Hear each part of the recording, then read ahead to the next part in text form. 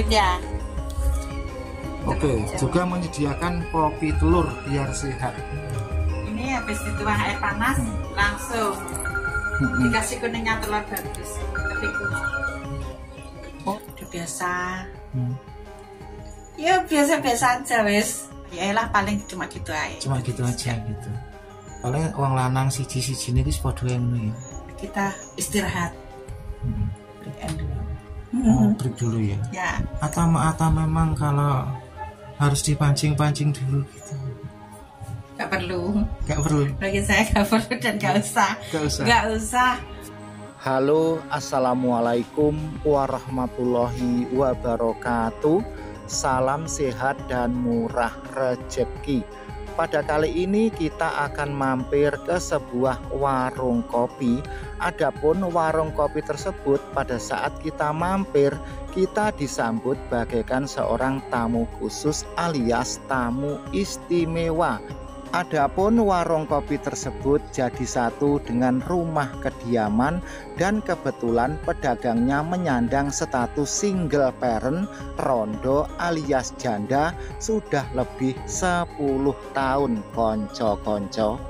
Pada saat kita ngopi di warung ini tentunya kita pun bisa ngobrol-ngobrol, saling curhat, saling tukar pengalaman kepada pedagangnya karena pedagangnya ini ramah, murah senyum dan baik hati. Siapa pun yang datang ke warung ini dianggap sebagai kerabat si Norowedi. Oke, selanjutnya marilah kita simak dan kita dengarkan bersama-sama suasana rumah warung yang pedagangnya menyandang status single parent sendirian ini.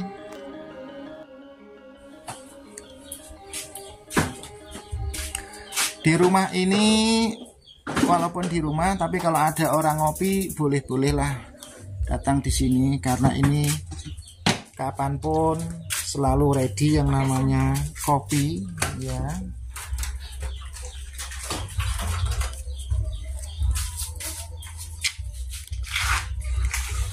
Nah teman-teman diulang ya di rumah Mbak Pat ini siapa saja suatu saat kalau anda kepingin ngopi ya bisa langsung datang ke sini. Ngopi dulu ini berada di Gang Omah ya konco-konco teman-teman. Sebelah rumah. Jadi warung kopi tidak harus di apa itu? Dicungkup kopi. Pinggiran juga bisa. Di pinggiran juga bisa ya mbak ya? Ya yang ngopi monggo. Hmm.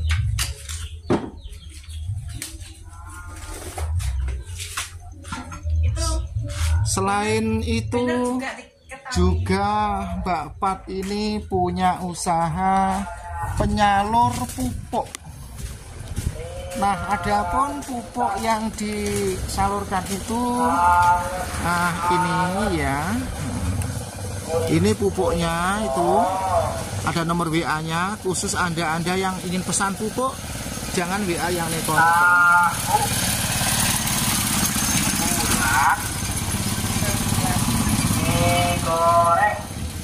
Ini adalah Gang Sawo ya Mbak ya. Jalan Sawo Gang 6 Desa Sido Bandung. Bagi Anda yang ingin tahu ya langsung datang tanya-tanya nanti bisa ya. begini monggo yang berminat Ah, ah, sudah saya syuting.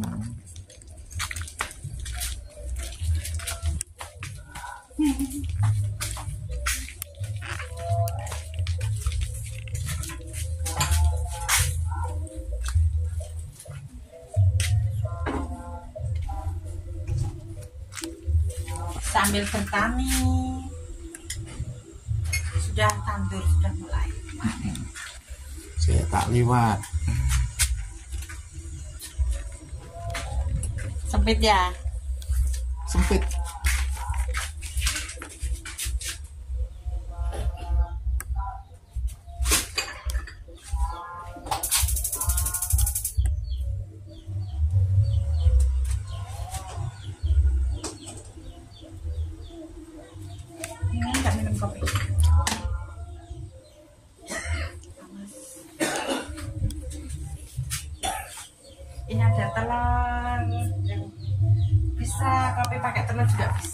Kopi telur bisa ya mbak ya? bisa jadi kopi panas itu doang terus ini kuningnya dimasuk no kopi panas itu langsung diseruput itu buat kesehatan bagus juga Oke, juga menyediakan kopi telur biar sehat.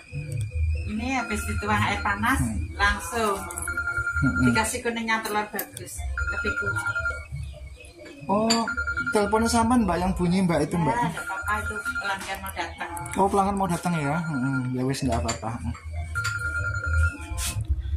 Nah teman-teman sekalian kali ini kita di rumahnya seorang wanita teladan. Nah, ini Mbak Pat sudah berpuluh-puluh tahun hidup menjanda sendirian, tidak punya seorang teman.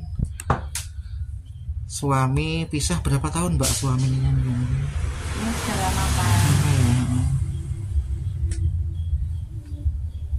Punya Apa ya, anak, sambil ini benar-benar sambil bicara. Punya anak juga.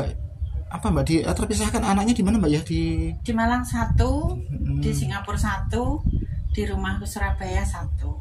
Tiga oh, cowok. tiga. Ya tiga orang anaknya tidak serumah atau terpisah-pisah gitu ya mbak ya? Ya jadi di rumah semacam ini sendirian ngurusi sem- segala sesuatunya sendirian.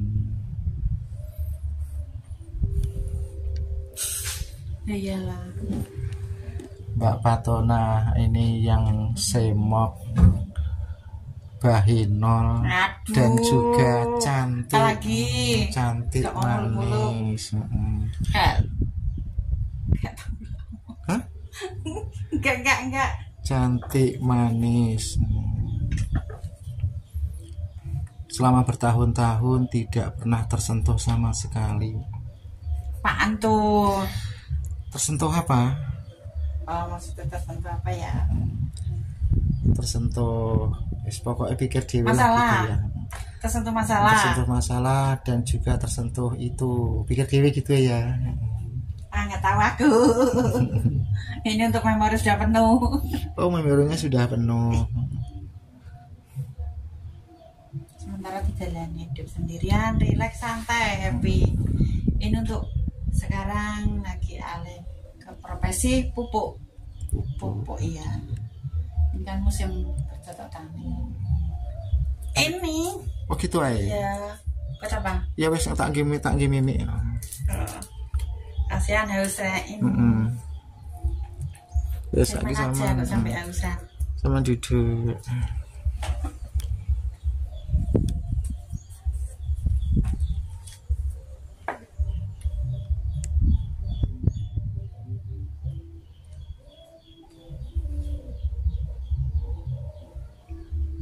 Selama ini berarti gak, gak dodolan berapa hari mbak ini mbak? kayaknya sepi total ya. Istirahat total. Istirahat, Istirahat total ya? ya kadang kala ada satu dua di sini. Ya. Mm-mm. silaturahmi lah. Hmm, fokusnya sekarang ke pupuk. Pupuk sama? Ya, pupuk. Kalau nanti ada kesinan lagi ada keluar. Lah dulu kan ojek apa itu ya. iya. Sekarang. Sekarang wis es pupuk aja lah kalau pupuk kan harga kan tahu sendiri Mm-mm. kalau kopi nanti berapa kalau harga pupuk berapa ya itulah Nah, teman-teman sekalian, inilah kehidupan Mbak Fatona. Tinggal di rumah saya ulangi lagi kehidupan Mbak Fatona. Tinggal di rumah sendirian, lempet-lempet baju sendirian. sepuluh ribu tiga Apa itu sih 10.003 itu? baju Oh, ya ini Kok? cucian oh laundry gitu ya Mbak ya. Lah cuci sendiri. Bobok sendiri, mandi sendiri. ya iyalah masa.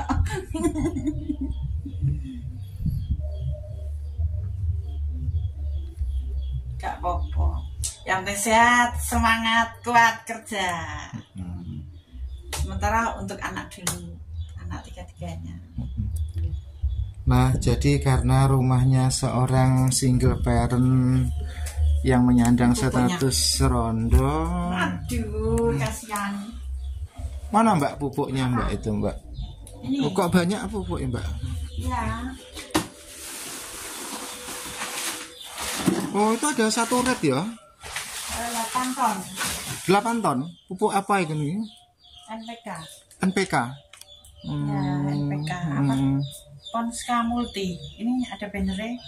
oh iya iya iya ya terutama ya warga-warga setempat lah Ya. misalkan desa Sidodadi, Sido Bandung, Bitingan, Dung Iya Papak sudah resmi. Cuma ini ditutup biar gak bau. Mm, dia nggak bau Biar khawatir. yuk masuk Dari, mbak dari pabrik langsung. Oh dari pabrik langsung ya Ya, makanya 10 ton atau 8 ton. Kalau nggak segitu kan nggak bisa. Kalau nggak dari pabrik ya nanti harganya kan lain lagi. Yang minat teman-teman, monggo.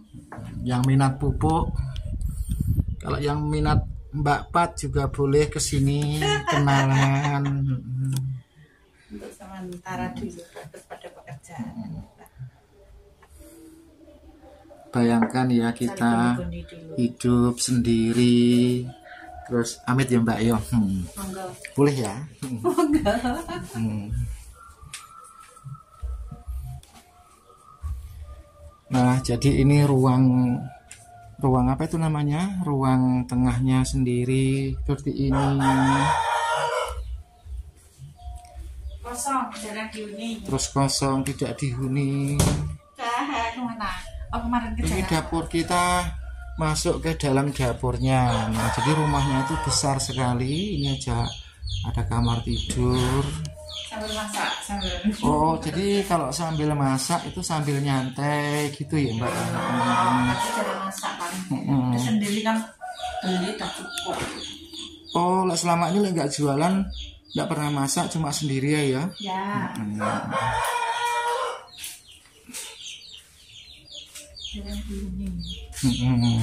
Kadang ke Jakarta, kadang ke rumah Surabaya. Kalau waktu ke Jakarta kan rumahnya kosong ya Mbak ya. Ya, Jadi kalau ke Jakarta ya paling tidak harus dikunci ekstra apa itu namanya harus nggak ada yang dipasrai gitu. Ada bibit sebelah. Ada di sebelah ya. Ya, tentunya kalau nggak ada yang dipasrai nanti kan ya nggak nggak enak. Ya, ya. Nah, konco-konco, nah, tolong share video ini biar viral kehidupan Mbak Fatonah yang layak untuk diteladani selama ini sudah bertahun-tahun. Aduh, ini saya tidak bisa ngomong apa-apa lagi ini. Makan. Di rumah pun uh, bisnis pupuk, ah, pupuk apa itu tadi Mbak? NPK. Ya, Ponska Multi. Monggo Hmm. yang yang minat merapat. Merapat resmi. ke rumah. Ini dari pabrik asli PT. Saya Mbak ini Sido Bandungnya gang apa Mbak ini Mbak? Jalan Sawo Gang 6. Oh, Desa Sido Bandung, Ya. Jalan Sawu, Gang 6, tanya rumahnya Mbak Fat. Ya, Mbak Fat ya, Mbak, ya? punya Panggilannya? pupuk. Yang punya Ya, diajeng NPK. gitu. Oh, diajeng gitu ya. Yang paling suka ngomong diajeng gitu. Mm-mm. Monggo yang minat ya teman-teman. Bapak sendiri. Berlatih untuk bertani. Apa kebutuhan petani? Tapi sama tidak bisa. pernah tidak pernah bertani, Mbak. Tidak pernah bertani Eh, ya? ini hari eh, tinggal satu kali. Hmm. Maksudnya dari dari kelurahan dapat sawah satu petak satu tahun putaran maksudnya. Hmm, jadi fokus berjualan aja lah gitu ya. Iya, Misal, misal pupuk penyalur saja jual kepada para petani gitu ya. iya itu sampingan. Hmm. Alhamdulillah ini mulai lancar lah. Mohon doanya. Selama lebih dari 10 tahun hidup sendirian tanpa seorang teman, tentunya Mbak Patonah ini pun ada satu hal yang dipikirkan, terutama para anak-anaknya kok tidak hidup bersama dengan ibu kandungnya. Anak-anaknya hidup di luar kota ikut keluarga dari pihak mantan suami. Tentunya sebagai seorang ibu yang benar-benar punya anak kandung di mana pun saja berada ingin selalu hidup bersama dengan anak-anaknya mencurahkan rasa kasih sayang antara orang tua dan anak. Pada saat ini kebetulan Pak D mendengarkan curhatan keluh kesah dari Mbak Patonah. Namun sebisa mungkin Pak D pun memberikan sebuah nasihat semoga dipakai. Bener itu terbukti ya muka muka aja sampai terbukti lah. Memang sayang. Iso. Tapi kan ya perlu dijaga lah. Pokoknya dituturi ae nih muga-muga anaknya balik ning dalan sing bener. Ya mbak ya? Ya barangkali ada uh, ada kegelapan sedikit. Hmm. anggap saja anak kandung itu kilat. Nanti kalau Tuhan soal sujud apa ya tapi maksudnya ya bukan bukan anak so. kok. Ini juga menimpa siapa pun. Sudah jadi kejadian hmm, sudah banyak.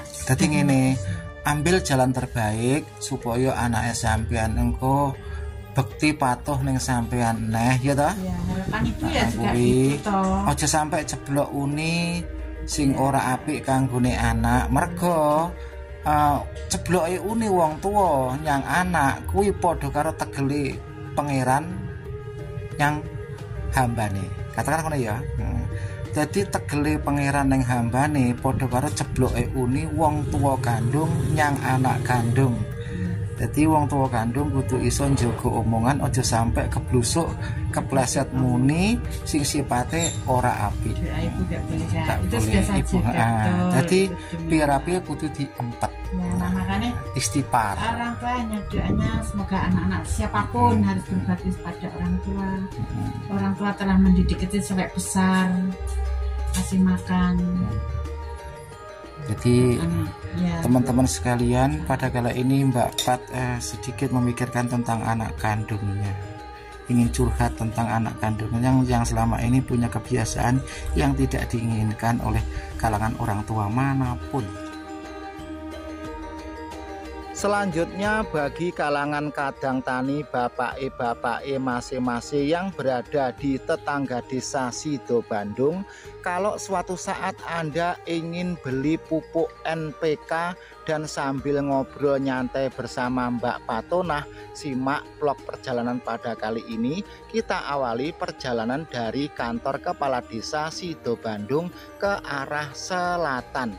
Nanti ada Jalan Sawu Adapun untuk masuk ke Jalan Sawu itu kita melewati Gapura, terus ada Gapura lagi. Untuk lebih jelas dan gamblangnya simak gambar video kali ini ya. Ojo lali di subscribe, di jempol serta tinggalkan komentar. Nah itu ada sebuah Gapura gang, kita masuk sekitar 200 meter kita sampai rumahnya Mbak Fatonah. Adapun nomor WA yang ada di Briner tersebut khusus untuk orang-orang atau kalangan kadang tani yang ingin informasi pupuk NPK bukan untuk yang lain-lain konco-konco. Nah sekarang kita sudah sampai persis di depan rumahnya Mbak Patonah kita berhenti ngopi-ngopi sambil beli pupuk namun bagi bapak-bapak yang baru saja datang atau ngopi di rumahnya Mbak Patonah ini sebaik mungkin Anda bersikap sopan dan buang jauh pikiran yang tidak-tidak karena di sini Mbak Patonah tinggal sendirian tanpa teman. Siapa pun yang ngopi dan bertamu di rumah ini tentunya akan dihargai diberi kebebasan bebasnya itu begini misalkan Anda kepingin buang air kecil nanti diantar ke belakang ditunjukkan ini toiletnya gitu. Kalau sudah masuk toilet ya ndak usah celok-celok artinya di sini kita bebas namun tetap menjaga norma dan kesopanan Selanjutnya memang cara bergaul Mbak Patonah ini seolah-olah memberikan sebuah harapan dari cara menyapa, dari tutur sapa, cara memandang, senyum dan lain sebagainya. Jadi itu sengaja dipersembahkan kepada siapa pun, artinya orang yang diberikan senyuman uh, serta lirikan tetek bengek dan lain sebagainya itu merupakan prioritas seorang pedagang. Paham sampai di sini? Bagaimanakah menurut pendapat, saran, serta wawasan konco-konco sekalian? Tolong ditulis di kolom komentar. Ojo lali di subscribe, di like, di jempol, dan Pak D mengucapkan terima kasih. Ada kurang lebihnya mohon maaf yang sebesar-besarnya. Salam sehat dan murah rezeki untuk semua saja. Sehat yang ditonton dan juga yang menonton. Wassalamualaikum warahmatullahi wabarakatuh.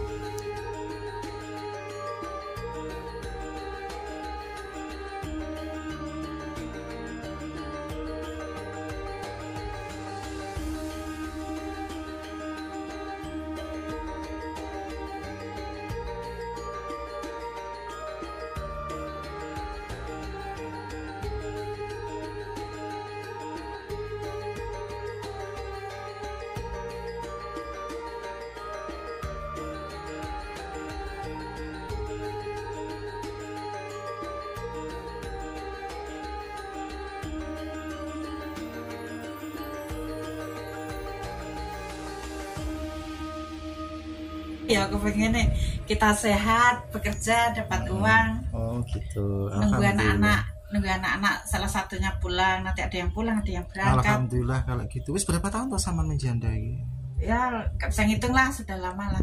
Ada 10 tahun ya Ki ya? Ada. Ada. Eh lampunya di